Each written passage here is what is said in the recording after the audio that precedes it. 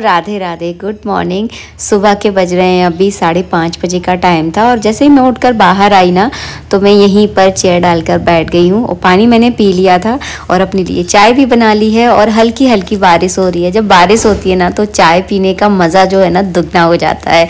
तो बस यहीं से मैं देख रही थी कि एक गाय जो है ना, इस तरह से भींग रही थी वो पानी में। तो मतलब इस समय बारिश के समय में जो है ना, और एक खासकर तीनों ही सीजनों में तो है ना, जानवरों की बड़ी दिक्कत होती है। तो बस वो बेचारी भींग रही थी, और कहीं आसरा जो है ना, इस समय जानवर ढूंढता है। तो बस वही कंडीशन है तो हम सबको मिलकर जो है ना, इन गायों के लिए ज़रूर कुछ ना कुछ करना चाहिए। अगर हम कुन्ने अगर आज कुछ नहीं किया ना तो शायद एक समय ऐसा आएगा कि हमें जो है ना, हमारी आने वाली पीढ़ियों को जो है ना, गाय शायद देखने के लिए ना मिल पाए। क्योंकि लोग पता है दूध के लिए गाय बाँध लेते हैं और जब दूध देना बंद कर देती है तो उसको भगा देते हैं। इसीलिए जो है ना, गायों की जो नस्ल है ना, वो धीरे धीरे मुझे ऐसा लगता है ख़त्म हो जाएगी और गाय जो है ना, मुझे सच में बहुत अच्छी लगती है। ये मैं आपको दिखा दूँ, अपने जीना दिखा दूँ तो वाइट और ब्लैक कलर का जीना बन के तैयार हुआ है। ऊपर जो आप ब्लैक देख रहे हैं, ये है ग्रेनाइट और वाइट कलर की जो है ना, ये टाइल्स है जो हमारे घर की फ्लोर में यूज़ हुई थी। तो वही टाइल्स हमने यहाँ पर लगवा दी हैं। इसकी पूरी कॉस्टिंग कितनी पड़ी है? तो मैं आपको बताऊँ, जो लगवाने का है, वो हमें पड़ा था साढ़े साढ़े चार सौ का एक जीना है। अब आपके शहर में जिस हिसाब से लगता होगा, उस हिसाब से आप देख सकते हैं। देखिए, हर शहर का अलग अलग चार्ज होता है तो हमारा एक छोटा सा शहर है जो तो छोटे शहरों में थोड़ा सा कम रहता है ज़्यादा नहीं रहता। बड़े बड़े शहरों में थोड़ा सा हाई फाई ज़्यादा रहते हैं। और क्या पता आपके शहर में भी इतना ही लगता हो। तो साढ़े चार सौ का एक जीना पड़ा है। ग्रेनाइट थोड़ा सा महँगा होता है, क्योंकि ये फुट के हिसाब से आता है। फुट के हिसाब से तो कैटाइल से भी आती है। तो आप जिस तरह का ग्रेनाइट यूज़ करोगे, उस हिसाब से जो है ना आपको इसका प्राइस जो है ना देना पड़ता है। और हाँ ग्रेनाइट के ही जीने ज़्यादा लगाए जाते हैं, वो इसीलिए लगता है क्योंकि ग्रेनाइट थोड़ा, एक तो मज़बूत पत्थर है। दूसरी बात, अगर आप टाइल्स का जीना लगाते हैं तो चटकने, टूटने, फूटने का ज़्यादा डर रहता है, क्योंकि जीनों पे से ही हम ज़्यादा सामान वगैरह उठाते हैं, उतरना, चढ़ना बहुत ज़्यादा होता है तो चटकने का डर रहता है, इसीलिए ग्रेनाइट का जीना ज़्यादा बनाया जाता है। और मेरी एक सब्सक्राइबर ने कहा था कि, दीदी, आपने इतने चिकने जीने बनवाए हैं, डर, गिरने का डर है। तो वो बात आपकी बिल्कुल सही है कि इस पर से उतरते समय मुझे भी बहुत डर लगता है। लेकिन देखने में जो है ना, ये जीना बहुत सुंदर लगता है। और हम सबका बहुत मन भी था कि हम इस तरह के जीने बनवाएँ। इसीलिए जो है ना ग्रेनाइट के जीने बनवाए हैं। और धीरे धीरे इसके यूज़ टू हो जाएँगे। जब हम किसी चीज़ को यूज़ करते हैं ना शुरू शुरू में थोड़ी कठिनाई होती है लेकिन फिर धीरे धीरे हम इसके यूज़ टू हो जाते हैं। और आप हम्म, और इसके जो साइड में जो है ना वो रेलिंग लगेगी तो उतरने चढ़ने में ज़्यादा दिक्कत नहीं होगी। और हमारे शहर में तो हर घर में जो है ना इसी तरह के जीने लगे हुए हैं। तो मुझे थोड़ा सा पसंद था इस वजह से मैंने इसी इसके साथ गई हूँ। और इस तरह की इसमें व्हाइट कलर की पट्टी आप लोग देख पा रहे होंगे इसमें व्हाइट कलर की पट्टी लगी हुई है, इसे शायद वीडिंग वगैरह बोलते हैं। तो धीरे धीरे जब काम करवाया ना तो मुझे भी इन सारी चीज़ों की नॉलेज जो है ना, बहुत अच्छे से हो गई है। कॉस्टिंग के बारे में मैंने इसलिए बताया क्योंकि कुछ लोग पूछ रहे थे, दीदी, कितने का पड़ा? तो ये थोड़ा सा आप अगर ग्रेनाइट के साथ जाते हैं तो थोड़ा सा आपको महँगा जो है ना, पड़ता है ये। तो इस तरह से जो है ना, जीना बन के तैयार हो गया है। आप लोग मुझे बताना ज़रूर कि आपको कैसा लग रहा है। मुझे तो सच में बहुत अच्छा लग रहा है। वैसे आप लोग बताना कि कैसे लग रहा है।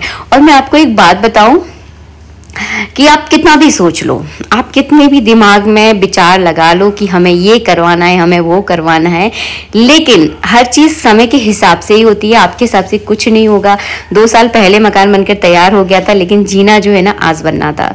तो वही है कि जो चीज़ जब होनी है, तभी होनी है। हम चाहे कितने भी हाथ पैर पटक लें, हम चाहे कितना भी अपने घर में कले कर लें, कुछ भी कर लें, कुछ नहीं होने वाला है। जब जिस चीज़ का समय आएगा, उसी समय के अकॉर्डिंग जो है ना, सारी चीज़ें होती हैं। आज हो रही है, बहुत बारीक बिल्कुल स्लो स्लो वाली बारिश हो रही है। हमारे शहर में तो बहुत कम बारिश होती है। मतलब ऐसा बहुत ही कम होता है कि तीन चार घंटे के लिए थोड़ा तेज पानी बरस जाए तो बहुत कम पानी बरसता है। मतलब थोड़ा थोड़ा सा बरसता है। दुनिया में, दुनिया भर का पानी बरसेगा ना तो हमारे यहाँ थोड़ा थोड़ा पानी बरसेगा।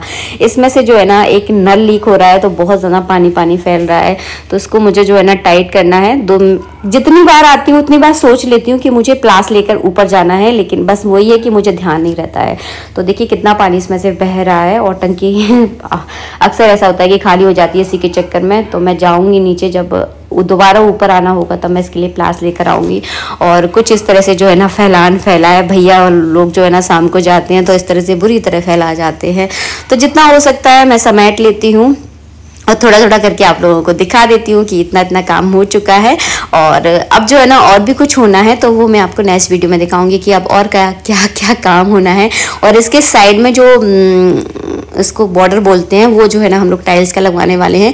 क्योंकि बहुत सारा टूटन वाला टाइल्स जो है ना, हमारे पास बचा हुआ है तो उसी का लगवाएँगे, क्योंकि ये सारा सामान जो है ना वेस्ट हो जाएगा। और हमें कुछ भी वेस्ट नहीं करना है, क्योंकि सब चीज़ें जो है ना, बहुत महँगी पड़ती हैं।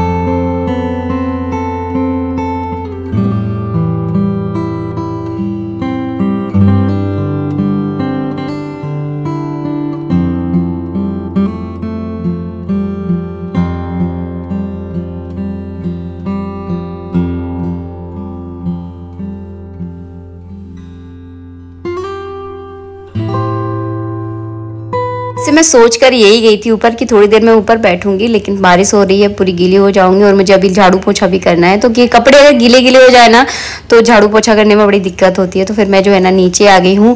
ऊपर से जो है ना, जीना एकदम ब्लैक दिखता है और नीचे से जब आप देखते हो तो एकदम सफ़ेद और ब्लैक दिखता है। मतलब व्हाइट और ब्लैक दिखता है। क्या मैं इंग्लिश और हिंदी को मैच कर रही हूँ? जीना मैं जो बोलती हूँ, क्योंकि हमारे यहाँ लोकल भाषा में जो है ना, सीढ़ियों को जीना ही बोला जाता है, इसलिए मेरे मुँह से जो है ना, जीना ही निकलता है। जीना मतलब सीढ़ियाँ। किसी ने पूछा था, दीदी, जीने का मतलब क्या होता है? मतलब सीढ़ियाँ उसको सीढ़ियाँ बोलते हैं। तो हर मतलब शहर की एक लोकल भाषा होती है ना तो हमारे यहाँ यही लोकल भाषा है कि सीढ़ियों को जो है ना जीना बोलते हैं। आशा करती हूँ आप लोगों को भी हमारी भाषा जो है ना समझ में आ गई होगी। पूरे दिन मैंने कोई वीडियो नहीं बनाया क्योंकि फिर वो काम वाले भैया आ गए थे तो फिर उनसे कुछ ना कुछ मुझे बताना था कि यहाँ पर ये करना है, यहाँ पर वो करना है। तो मेरा फुल डे इतना ज़्यादा व्यस्तता वाला रहा, उसके बाद मैंने कोई वीडियो नहीं बनाया और आज मैंने खाना भी कुछ नहीं बनाया था। केवल बेसन के चीले बनाए थे मैंने और बेटू ने मिलकर खा लिए हैं और इतनी धूल धूल हो रही है ना, वो जब ग्रेनाइट घिसता है ना तो आपके घर में पूरा धूल धूल हो जाता है। उस धूल के चक्कर में मेरा तो सिर जो है ना भारी हो रहा था तो फिर मैं थोड़ी देर लेट गई थी क्योंकि मेरा सिर दुख रहा था। और ज़्यादा देर नहीं लेट पाई क्योंकि वही मशीनों की आवाज़ आती है ना तो आपको ज़्यादा नींद वगैरह आती नहीं है। तो फिर मैंने फटाफट बेड सीट एक सी की है और जितने भी मेरे कपड़े वपड़े थे, सब मैंने कपड़े एक से लगाए हैं। और मैं आ गई हूँ किचन में। अब जो है ना, मुझे करना है खाने की तैयारी, आलू और तुरई की सब्ज़ी जो है ना मैंने काट ली थी तो आलू और तुरई की सब्ज़ी बघार रही हूँ और मैं आपको एक बात बताऊँ, मैं अभी घर में काम चल रहा है और मैं थोड़ा व्यस्त रहती हूँ। जब मेरे यहाँ, जब वीडियो का काम ज़्यादा रहता है, जैसे कि फेस्टिवल सीज़न होता है तो उस समय मैं बहुत ज़्यादा वीडियो बनाती हूँ। तो मुझे ना बेटों की कभी चिंता नहीं होती तो उसकी एक बहुत अच्छी आदत है कि वो मुझे बिल्कुल परेशान नहीं करता है। जब मैं ज़्यादा व्यस्त होती हूँ, वो देख रहा है कि मम्मी बहुत ज़्यादा व्यस्त है तो वो अपने खाने पीने की चीज़ें जो है ना खुद बना लेता है। जैसे कि आज मैंने ज़्यादा कुछ बनाया नहीं था, केवल मैंने बेसन के चीले बनाए थे और वही होता है कि एक उम्र में ये छोटी छोटी चीज़ों से आपका पेट भरता नहीं है, हमारा तो भर जाता है, लेकिन उसकी एक बढ़ती उम्र है, उसको थोड़ा जल्दी भूख लगने लगती है। तो उसने अपने लिए चने का सैलेड बना लिया था दोपहर में, अब जो है ना अपने लिए मौसमी का जूस बना रहा है। तो अपना जो है ना ध्यान बेटू अपने बहुत अच्छे से अपने लिए रख लेता है, जब भी उसको भूख लगती है तो वो कुछ ना कुछ बना के जो है ना खा लेता है। घर में मैं जैसे कि उबले हुए चने और भुने हुए चने, मूंगफली, जो भुनी हुई मूंगफली होती है, वो और फल फ्रूट में हमेशा रखती हूँ। ताकि वो अच्छा हेल्दी खाए। और ये जो बच्चों की उम्र होती है ना, ये बढ़ने वाली उम्र होती है। बच्चों का जो हेल्थ होती है ना, वो बहुत ग्रो करने वाली हेल्थ होती है। तो फिर वो उसी हिसाब से जो है ना, मैं व्यवस्था बना के रखती हूँ कि जब भी उसको भूख लगे तो वो इन सारी चीज़ों को खा ले। और बेटू की एक बहुत अच्छी आदत है, वो ये कि वो बाहर का बहुत कम खाता है। हाँ खाता तो ऐसा नहीं है कि उसने बिल्कुल छोड़ ही दिया है, बिल्कुल त्याग ही दिया है। ऐसा तो बिल्कुल भी नहीं है, लेकिन खाता है, बहुत कम खाता है। मतलब हफ़्ते में मुश्किल से एक हाथ बार ही। जैसे कि उसको पेटीज बहुत पसंद है, समोसे उसको बहुत अच्छे लगते हैं और हाँ सबसे ज़्यादा अच्छा तो उसको छोले भटूरे लगते हैं। तो बस खाता है लेकिन बहुत कम खाता है। ज़्यादातर हेल्दी चीज़ें ही खाता है क्योंकि मैं ऑप्शन ही यही सारे रखती हूँ और उसको पसंद भी आती है। जब आप एक बार अपनी हेल्थ की तरफ़ ध्यान देने लगते हो ना तो आप अनसन चीज़ें खाना एकदम अवॉइड कर दोगे धीरे धीरे करके। तो बस हमने तो यहाँ पर बना ली है तुरई आलू की सब्ज़ी। बेटू तो खैर नहीं खाएगा तुरई आलू की सब्ज़ी, उसके लिए आलू आलू जो है ना मैं निकाल दूँगी और दो टमाटर डाले हैं तो उसके लिए हो जाएँगे। यहाँ पर साइड में जो है ना मैंने चाय रख ली है, क्योंकि ये मशीनों की आवाज़ सुन सुनकर जो है ना मेरा सर दुखने लगा है। तो मेरी, मुझे ना चाय शांति में बैठकर मुझे एक बार थोड़ा सा एक कप चाय पीनी है और अपने सिर में जो है ना मुझे तेल भी लगाना है, क्योंकि मेरे जो ग्रेनाइट घिसने से जो धूल होती है ना, वो ऐसा लग रहा है कि मेरे बालों में जो है ना चिपक गई है। तो मुझे खूब सारा तेल लगाना है और तेल लगाने के बाद जो है ना, आज शनिवार है, आज तो मैं सिर नहीं धोंगी, लेकिन कल जो है ना मुझे नेक्स्ट डे सिर ज़रूर धोना है, क्योंकि बहुत गंदा सिर लग रहा है। क्योंकि परसों जो है ना मैंने हरी मेहंदी लगाई थी, उसके बाद मैंने इंडिको पाउडर लगाया था, लेकिन मैंने तेल नहीं लगाया है। जब भी आप हरी मेहंदी लगाओ इंडिको पाउडर लगाओ ना तो अपने बालों में आप तेल ज़रूर लगाना, तभी अच्छे से उभर के जो है ना कलर आता है और बाल भी बहुत अच्छे हो जाते हैं। और मेहंदी लगाने के बाद तो मतलब वैसे ही बाल बहुत कड़क कड़क से हो जाते हैं। अगर आप तेल नहीं लगाओगे ना तो अजीब से बाल लगते हैं, बहुत रूखापन आ जाता है बालों में। तो बस वही है। तो चलिए मैं फटाफट बालों में तेल लगाती हूँ। और हाँ मैं तेल कौन सा लगाती हूँ? आप लोग मुझसे अक्सर पूछते हो, दीदी, आप तेल कौन सा लगाती हो? तो वैसे तो मैं आपको कई बार बता चुकी हूँ सर्दी हो या गर्मी हो, मेरा वन और फेवरेट एक ही तेल है। वो है नारियल का तेल। मैं हमेशा अपने बालों में केवल नारियल का तेल ही लगाती हूँ।